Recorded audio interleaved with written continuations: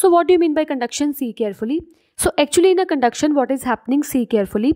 In a conduction, first of all, we have to take a solid. Whenever we are taking solid and whenever we are taking that solid near to the heat, so this heat energy will transfer to the very near particles whatsoever are there kept near the flame. So that particles will take the heat energy from the candle, burning candle these particles start vibrating about their fixed position. Whenever these particles start vibrating while taking the heat from the flame, these vibration or these heat energy they will transfer to next particles. The next particles also start vibrating about their mean position. Then these particles transfer the heat to next particles, then these to next particles and these to next particles. Means this first layer of the particles by transferring the heat to the end of the particle. So here heat will move from higher temperature to the lower temperature but without any actual movement of particles. Here actually particles are not changing their position moving from one point to another point. They are just vibrating about their mean position and they are just transferring the energy from one layer to the another layer.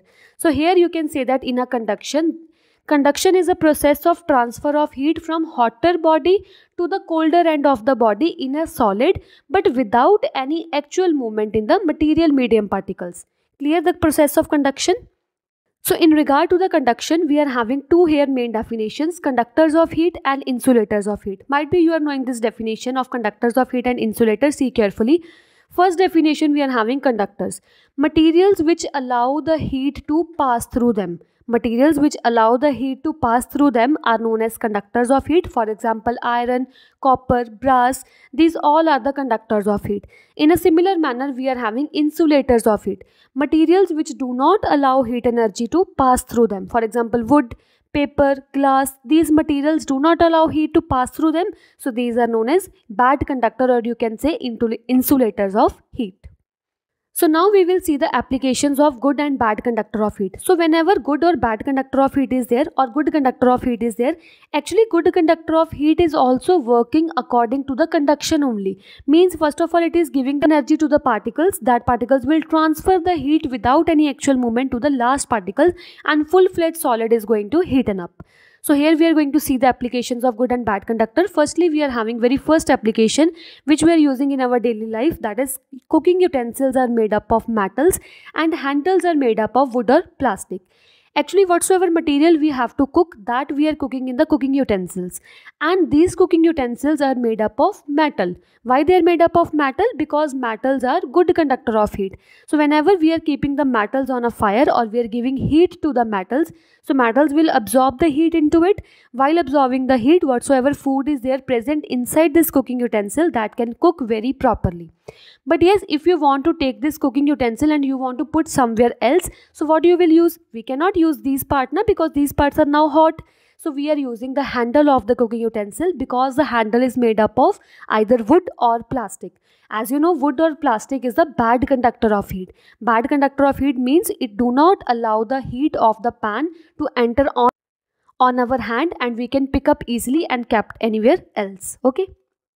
So next application of good and bad conductor we are having. Copper is used as making cooling coils of air conditioners and refrigerators. In air conditioners and refrigerators, these kind of cooling coils are there. These cooling coils are made up of copper. Why copper? Because copper is a good conductor of heat which allow the heat to pass through them and will remain or make the air conditioners or the refrigerator to remain cool. Okay. Third application we are having woolen cloths in winter.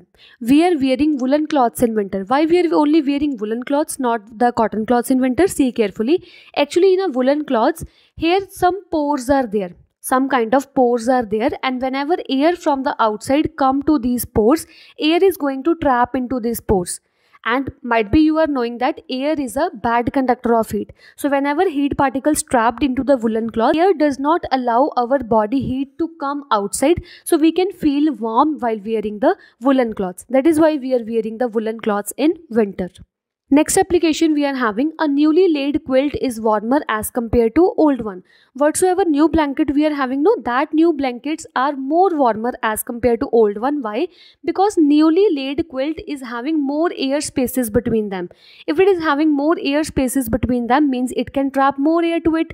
More air means air is a bad conductor of heat which do not allow our body heat to come outside means newly laid quilt will keep us warm.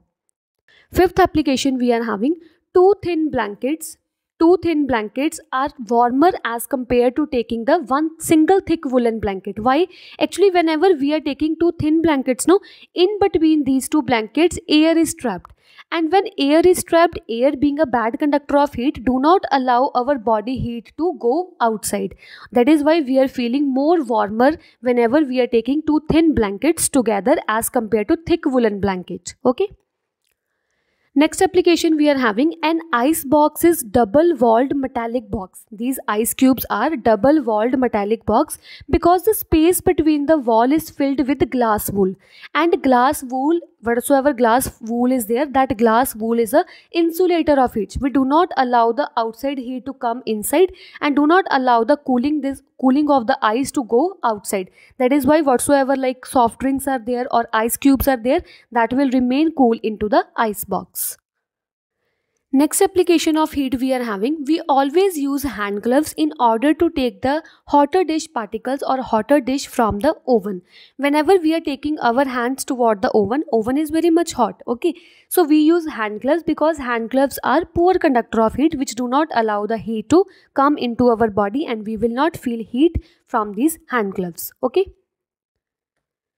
Next application we are having roofs of some houses are made up of asbestos sheet or clay tiles. Actually some roofs are made up of asbestos sheet, these kind of asbestos sheet or clay tiles because asbestos sheets are bad conductor of heat which do not allow outside heat to come inside the house and whatsoever person is there inside the house that may not feel that much hot in a summer days. Next application we are having Eskimos make their houses called igloo out of snow.